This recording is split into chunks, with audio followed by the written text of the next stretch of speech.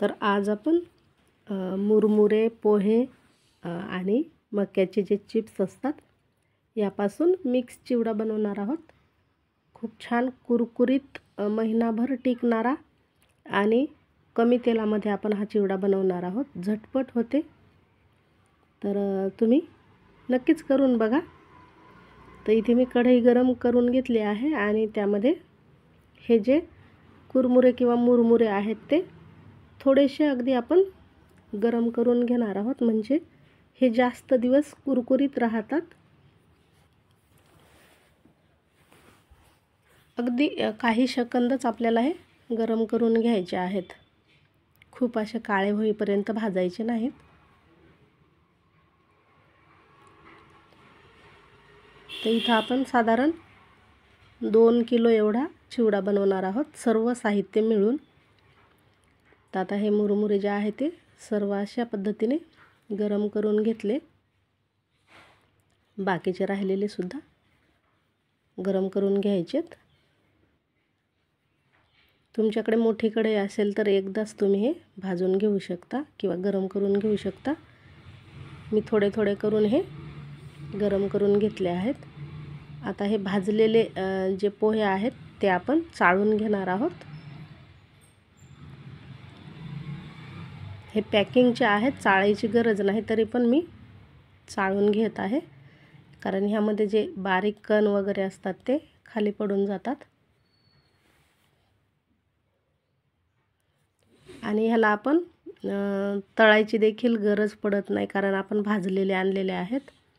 जर पोहे भाजलेले नाही घेतले तर मग आपल्याला तळून घ्यावं लागतील किंवा थोड्याशा तेलामध्ये भाजून घ्यायचेत. ते सुद्धा छान कुरकुरीत होतात.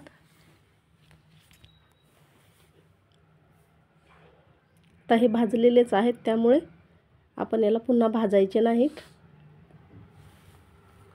हे मुरमुऱ्यामध्ये मिक्स करून घ्यायचे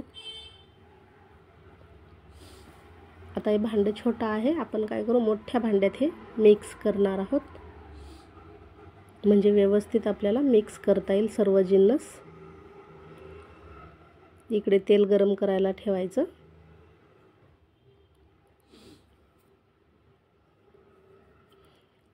तेल गरम झालं की मग शेंगदाणे आपण तळून घेणार आहोत. इथं मी एक वाटी एवढे शेंगदाणे घेतले आहेत तळण्यासाठी. छान खमंग तळून घ्यायचे शेंगदाणेसुद्धा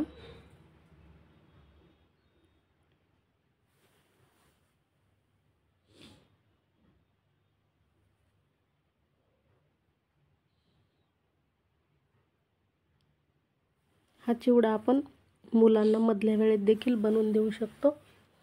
मस्त पोटभरीचा चटपटीत आहे. तर हे तळलेले शेंग शेंगदाणे जे आहेत ते आपण या मुरमुऱ्यामध्ये किंवा पोह्यामध्ये मिक्स करून घ्यायचेत. हे डाळवं घेतलं आहे. डाळवंसुद्धा थोडंसं तळून घेत आहे मी. किंवा हे डाळ व कढईमध्ये भाजून देखील आपण घेऊ शकतो.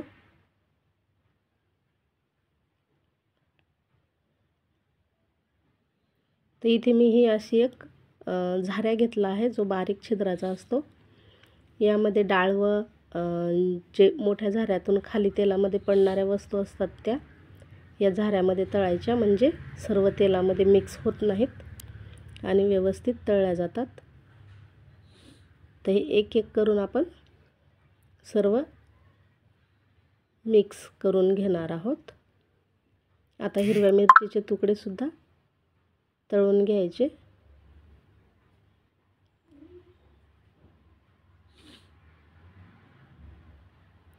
मिरची तुम्ही कमी अधिक घेऊ शकता. मी इथे अर्धा वाटी मिरचीचे तुकडे घेतले आहे बारीक केलेले.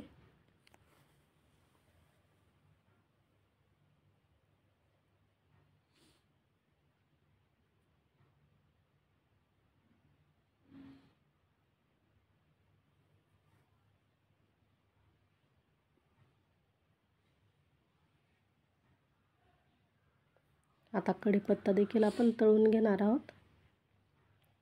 मस्त क्रिस्पी होईपर्यंत तळून घ्यायचं आहे.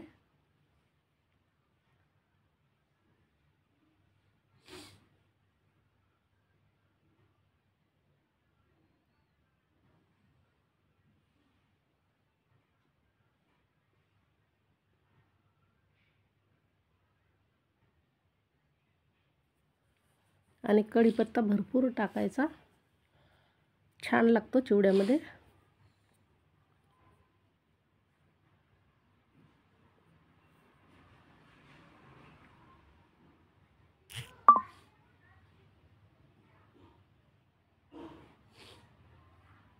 तर बघा आपण सर्व जो कढीपत्ता आहे तो तळून आहे.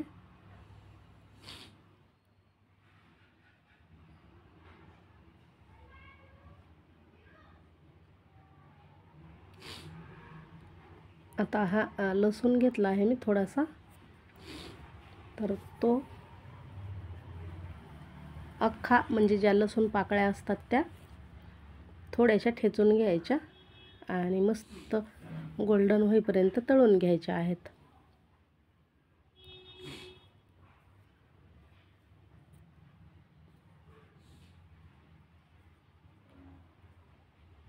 तर बघा आपण ह्या काढून घेऊ.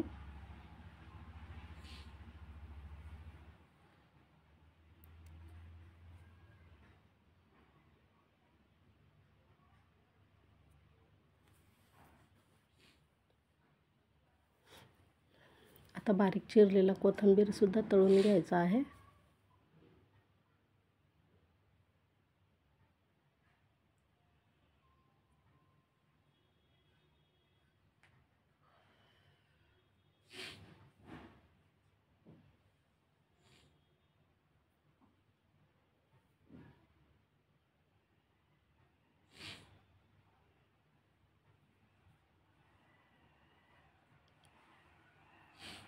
मस्त असं हे दिसत आहे.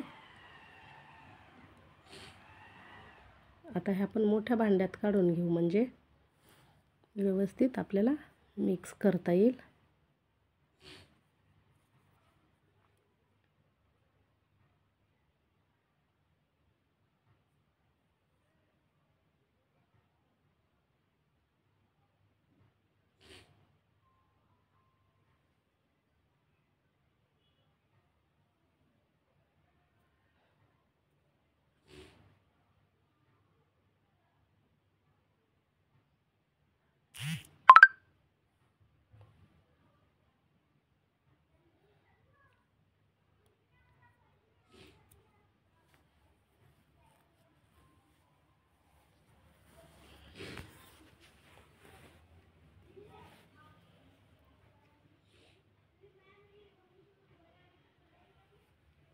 आता आपण यामध्येच बाकीचं जे या कढईमधलं तेल राहिलं होतं त्यामधलं थोडंसं घेऊ आणि फोडणी टाकू.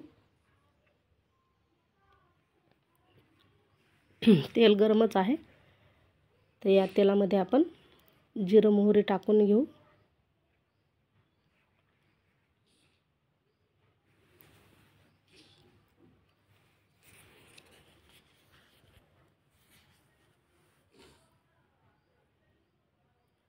जिरं मोहरी तडतडले की मग लाल तिखट टाकायचं आहे.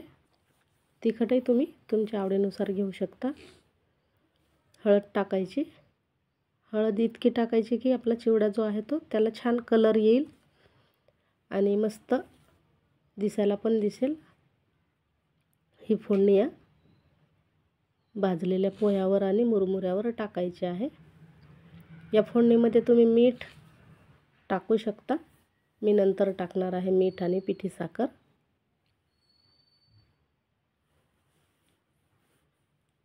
आता हे आपण सर्व पुन्हा एकदा मिक्स करून घ्यायचं. मीठ टाकून घ्यायचं.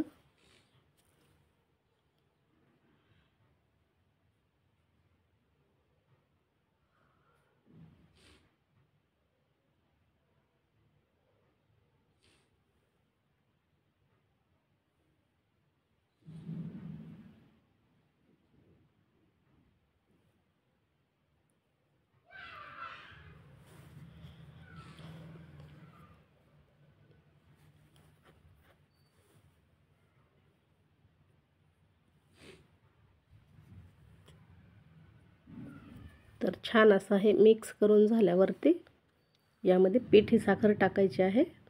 एक दोन चम्मच एवढी पिठी साखर टाकून घ्यायची.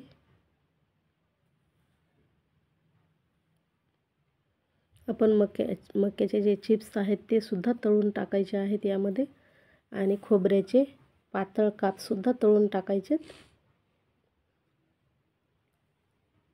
त्याने एक वेगळी चव येते आणि छान लागतो चिवडा हा. इथे मी रेडीमेड जे शेव असतात बारीकवाले ते टाकत आहे थोडे.